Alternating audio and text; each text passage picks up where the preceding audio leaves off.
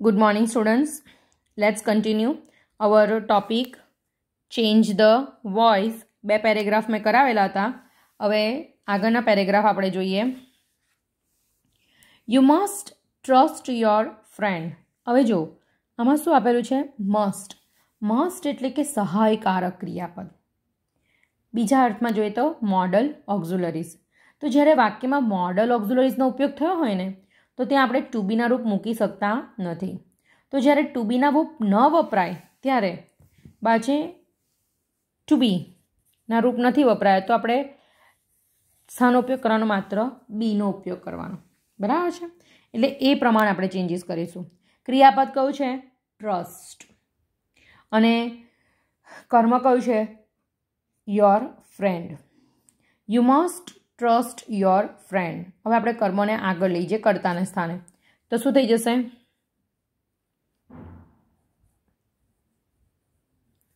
Your friend પછી must ખરું જ. હવે ટુ બીનું જે તે કાનું રૂપ આપણો બીજો નિયમ હતો. ટુ બીનું રૂપ નથી વપરાયું એટલે આપણે શું મૂકીશું? બી શું મૂકીશું? Be your friend must be હવે ક્રિયાપદ કયું છે? ટ્રસ્ટ હવે ક્રિયાપદ મૂળ રૂપમાં છે. એમ પણ મોડલ સહાયકારક સહાયકારક સોરી સહાયકારક ક્રિયાપદ પછી ક્રિયાપદ હંમેશા મૂળ રૂપમાં હોય છે. તો અહીંયા આગળ આપણે તો નિયમ છે ને, કે ક્રિયાપદનું શું કરવાનું? વી થ્રી એટલે કે પાસ્ટ પાર્ટિસિપલ તો ટ્રસ્ટનું થઈ જશે ટ્રસ્ટેડ શું થઈ જશે? Trusted your friend must be trusted પછી મુકાય બાય અને કર્તાને સ્થાને યુ છે એટલે કર્મ વિભક્તિમાં બી શું આવે? યુ જ આવે. બરાબર છે? યુ કર્તામાં બી યુ છે અને કર્મમાં પણ યુ જ છે. એટલે વાક્ય બની ગયું. Your friend must be trusted by you હવે, એના ઉપરથી બીજું વાક્ય. You sorry he won't cheat you બરાબર છે? હવે કર્તા તરીકે કોણ છે? યુ અહીં વોન્ટ છે, એટલે કે વિલ નોટ ભૂતકાળ સોરી નકારાત્મક વાક્ય આપેલું છે. ભલેને વાક્ય હકાર હોય કે નકાર હોય આપણા પાંચ નિયમો તો એઝ ઇટ ઇઝ રહેશે. એમાં પહેલો નિયમ છે, કર્તાને સ્થાને કર્મ. એટલે કર્મ તરીકે અહીંયા આગળ શું આપેલું છે? યુ એટલે યુ કર્તાના સ્થાને આવે તો પણ યુ જ રહી. બા છે, અને નકાર એટલે વોન્ટ તો ખરું જ. યુ વોન્ટ પણ શું કીધું મેં તમને લોકોને? ટુ બીના રૂપની વપરાય એટલે શું મૂકવાનું અહીંયા આગળ be you won't be cheat ક્રિયાપદ છે. તો ચીટનું શું થઈ જશે? ચીટેડ ચીટેડ બાય હવે કર્તા તરીકે કોણ છે? હી છે. તો હીનું કર્મ વિભક્તિનું રૂપ શું થઈ જશે? Him clear you won't be cheated by him એ જ રીતના ત્રીજું વાક્ય. આઈ અશ્યોર હિઝ કાઇન્ડનેસ ક્રિયાપદ ઉપર ફોકસ કરો સ્ટુડન્ટ્સ ક્રિયાપદ કા રૂપમાં છે? મૂળ રૂપમાં. એટલે કયો કાળ કહેવાય? સાદો વર્તમાન કાળ. સાદા વર્તમાન કાળમાં ટુબીના રૂપ કયા? એમ ઇઝ આર એટલે હવે અહીંયા આગળ કર્મ નક્કી કરો કે સાની ખાતરી હિઝ કાઇન્ડનેસ એની દયામણાપણાની. બરાબર છે? એટલે હિઝ કાઇન્ડનેસ આગળ આવશે. જો હિઝ એ સંબંધક વિભક્તિનું રૂપ છે. એટલે હિઝનું હિઝ જ રહી. ત્યાં પછી એવું નહીં વિચારવું કે ટીચર હિમનું હી કરાવતા હતા, તો હિઝનું પણ હી કરવાનું. ના, આ સંબંધક વિભક્તિનું રૂપ છે. એટલે સંબંધક વિભક્તિના રૂપને કોઈ તમારે ચેન્જીસ કરવાનું નથી. હિઝ કાઇન્ડનેસ એક વચન કહેવાય કાઇન્ડનેસ એટલે, બરાબર છે? એટલે એક વચન માટે ટુ બીન રૂપ કયું વપરાય? ઇઝ હિઝ કાઇન્ડનેસ ઇઝ ક્રિયાપદ કયું છે? અશ્યોર્ડ એટલે ભૂતકૃદન કરતાં શું થઈ જશે? ઈડી લાગશે. His kindness is assured by કરતા તરીકે કોણ છે? આઈ તો આઈનું શું કરવાનું? મી રેડી વાક્ય બન્યું? His kindness is assured by me હવે નેક્સ્ટ સેન્ટન્સ એમ જ. યુ કાન્ટ રીપે ઇટ તમે રીપે એટલે એને ચૂકવી શકો નહીં. બરાબર છે? કોઈ પણ લાગણીઓની કોઈ કિંમત નહીં હોય. બરાબર? લાગણીઓની કિંમત આપણે ચૂકવી શકીએ નહીં. એટલે અહીંયા આગળ કીધેલું છે કે you can't repay it it કર્મ છે. એને કર્તાને સ્થાને લાવો તો પણ ઈટ જ રહી. અહીં કાંટ છે. એ પણ એક મોડલ ઓક્ઝુલરીસ છે, એટલે નકાર છે, એટલે કાંટ જ લખવાનું. પછી શું મૂકવાનું? બી કેમ? ટુ બિન રૂપની વપરાય, એટલે અહીં આપણે શું મૂકીએ છીએ? બી નકાર છે એટલે એની એ જગ્યાએ. કેન નોટ એટલે કાંટનું કાંટ જ રહેશે ઇટ કાન્ટ બી હવે રીપે યાદ રાખજો, કેટલાક અનિશ્ચિત ક્રિયાપદો હોય છે. એટલે એને ઈડી લાગતા નથી. તો રીપે જેમ પેનું પેડ એવી રીતના રીપેનું repaid repaid by you clear કર્તા તરીકે યુ છે એટલે આપણે કર્મને સ્થાને પણ સ્થાને લાવ્યા. યુને લાવ્યા. એટલે વાક્ય શું બન્યું? It can't be repaid by you clear આ તમારો ત્રીજો પેરેગ્રાફ છે. બરાબર? હવે એના પછીનો. જો, પહેલા પેરેગ્રાફમાં સાદા વર્તમાનકાળનો ઉલ્લેખ હતો, બીજા પેરેગ્રાફમાં સાદો ભૂતકાળ હતો, ત્રીજા પેરેગ્રાફમાં મોડલ ઓક્ઝુલરીઝની વાત કરેલી હતી. હવે ચોથો પેરેગ્રાફ છે. ચોથા પેરેગ્રાફમાં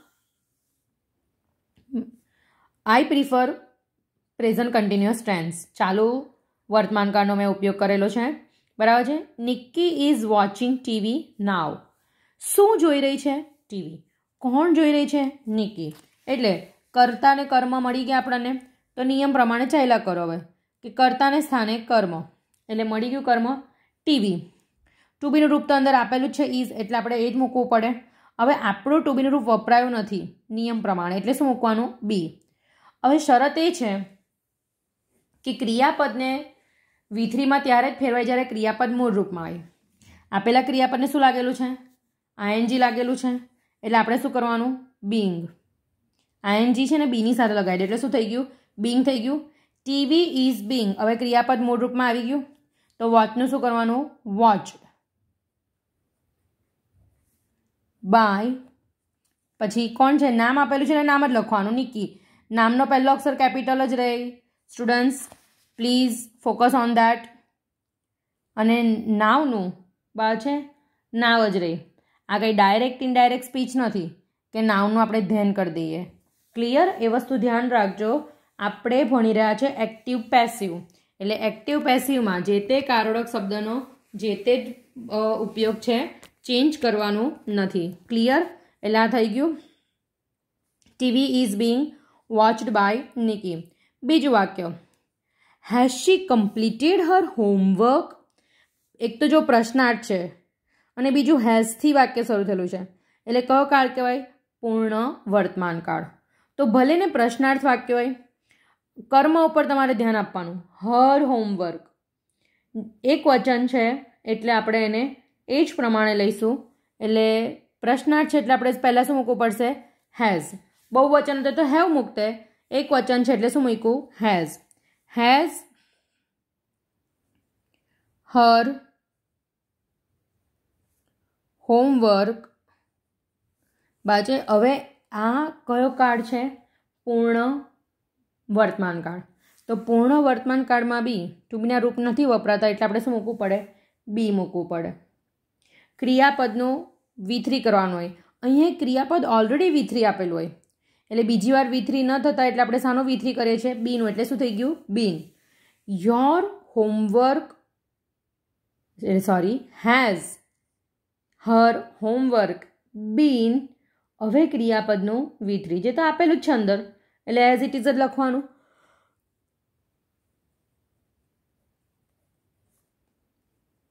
કમ્પ્લીટેડ પછી મૂકો બાય અને શીનું કરો હર પ્રશ્નાર્થ ચિહ્ન મૂકવાનું ભૂલવાનું નહીં. કેમ? આપેલું વાક્ય પ્રશ્નાર્થ છે. ફરી એકવાર યાદ કરાવો આ ડાયરેક્ટ ઇનડાયરેક્ટ સ્પીચ નથી. ડાયરેક્ટ ડાયરેક્ટ ઇનડાયરેક્ટ સ્પીચમાં આપણે શું કરતા કે પ્રશ્નાર્થ વાક્ય હોય તેનું વિધાન કરીએ. એટલે પ્રશ્નાર્થ ચિહ્ન નીકળી જાય. આ એક્ટિવ પેસિવ છે.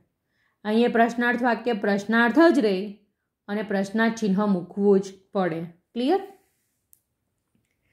she does her work regularly જો પહેલો કાર્ડ ચાલુ વર્તમાન કાળ હતો, બીજો પૂર્ણ વર્તમાન કાળ હતો. હવે અહીંયા ડઝ આપ્યું છે અને રેગ્યુલરલી કીધું છે, નિયમિત રીતે. એટલે કયો કાળ થઈ ગયો? સાદો વર્તમાન કાળ સાદા વર્તમાન કાળમાં ટુ બીના રૂપ કયા? એમ ઇઝ આર હવે અહીંયા કર્મ કયું છે?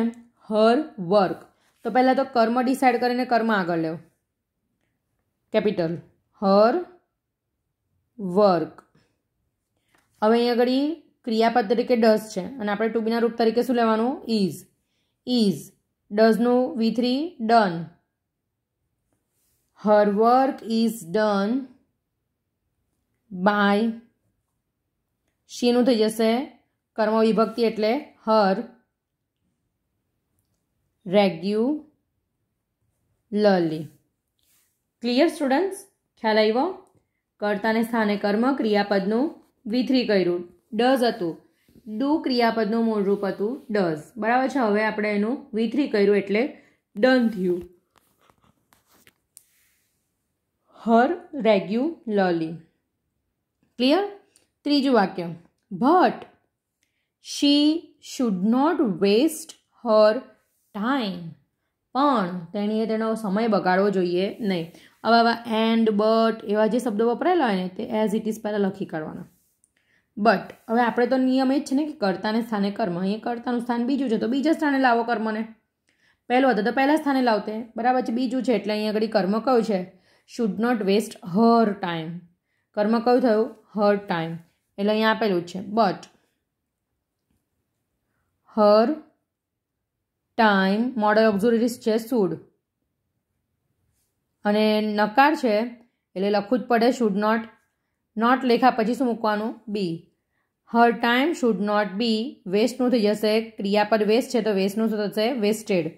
વેસ્ટેડ બાય શીનું કરો. કર્મ વિભક્તિનું રૂપ હર. રેડી સ્ટુડન્ટ્સ આ તમારો ચોથો પેરેગ્રાફ થયો.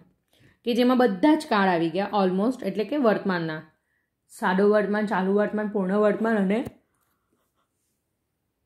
મોડલ ઓક્ઝુલરીઝ બધું જ આવી ગયું. હવે એના પછીનો પેરેગ્રાફ જુઓ. Kishan was playing cricket then કર્મ કયું છે? ક્રિકેટ છે. તો કર્મને આગળ લેવો અને નક્કી કરો કે વોઝ પ્લેઇંગ અહીંયા ઇઝ પ્લેઇંગ હતું, એટલે કયો ઇઝ વોચિંગ હતું, તો કયો કાળ હતો? ચાલુ વર્તમાન કાળ. અહીંયા વોઝ પ્લેઇંગ છે એટલે કયો કાળ છે? ચાલુ ભૂતકાળ. તો સ્ટુડન્ટ્સ પહેલાં તો કર્મ આગળ લઈએ. કર્મ કયું છે? ક્રિકેટ ટુ બી રૂપ તો વોઝ આપેલું જ છે. અને જે આપણા માટે પોસિબલ નથી બન્યું એટલે બિંગ લખવાનું. બરાબર છે? અહીં આપણે આગળ કર્યું ને? વોચિંગની જગ્યાએ બિંગ વોચડ કર્યું. એવી રીતના વોઝ બિંગ ક્રિયાપદ કયું છે? પ્લેડ પ્લેનું શું કરવાનું? પ્લેડ બાય કરતા કોણ છે? નામ છે કિશન, એટલે કિશન જ લખવું પડે કે કેપિટલ. કિશન અને ક્રિયાપદ વધારાનો શબ્દ આપેલો છે ધેન, એટલે આપણે એડ કરવો પડે. તો વાક્ય શું બન્યું? Cricket was being played by Kishan, then. બીજું વાક્ય. I saw him bowling to the batsman I saw him him આટલામાં જ વાક્ય પતી જાય છે. આઈ કરતા, શોક્રિયાપદ અને હિમ કર્મ. પણ બોલિંગ ટુ ધ બેટ્સમેન. બસ, કરતાં તો એ જ છે, એટલે આપણે એ જ પ્રમાણે ચાલવાનું છે. પહેલું તો બાકીનું બધું વધારાનું છે. વધારાનું એ પાછળ જ રાખવાનું. એને એડ કરતા નથી. પહેલાં તો કર્મને સ્થાને કરતા સોરી કર્તાને સ્થાને કર્મ, એટલે હિમ, હિમનું કરતા વિભક્તિનું રૂપ શું થઈ જશે? હી હી હવે સો એટલે કયો કાળ કહેવાય? સાદો ભૂતકાળ. એટલે હીની સાથે ટુ બીનું રૂપ કયો આવે? વોઝ અને ક્રિયાપદ સો છે, તો એનું વી થ્રી શું થાય? સીન થાય. હી વોઝ સીન પછી મૂકવાનું બાય અને કર્તા તરીકે કોણ છે? આઈ છે. તો મી અને વધારાનું વાક્ય એડ કરી દેવું. Bowling to the batsman. Ready હવે ત્રીજું વાક્ય. I had seen him batting a few minutes ago હવે ઘડી ફરી એકવાર કર્તાના સ્થાને તો આપી દીધું છે. આઈ હેડ સીન હિમ હવે હેડ આવ્યું એટલે કયો કાર્ડ કહેવાય? પૂર્ણ ભૂતકાળ. બરાબર? એટલે આપણે તો નિયમ પ્રમાણે જ ગયા કરવાનું. પહેલાં તો કર્મને આગળ લેવું, એટલે હી થયું. હીની હાથે હેડ તો આવવાનું જ છે. પછી પેસિવ કરતાં કયો શબ્દ મૂકવાનો બીન ક્રિયાપદનું વી થ્રી એટલે seen he had been seen by me પછી વધારાનું એડ કરો. Batting a few minutes ago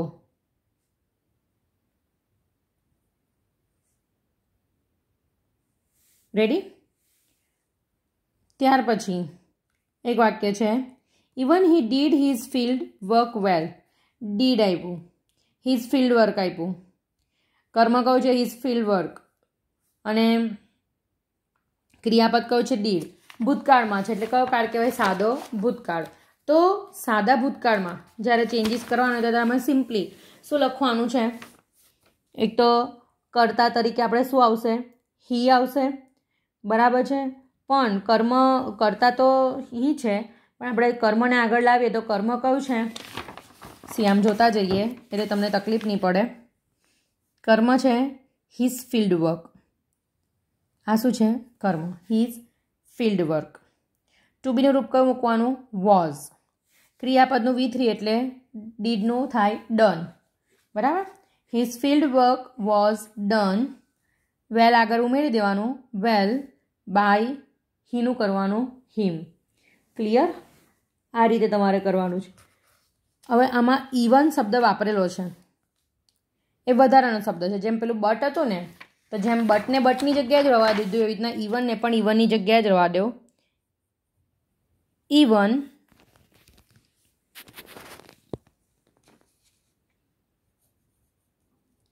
his field work.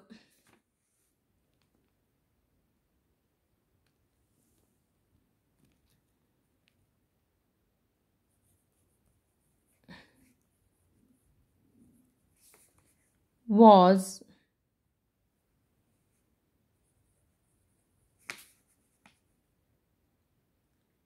Even his fieldwork was did not I done well by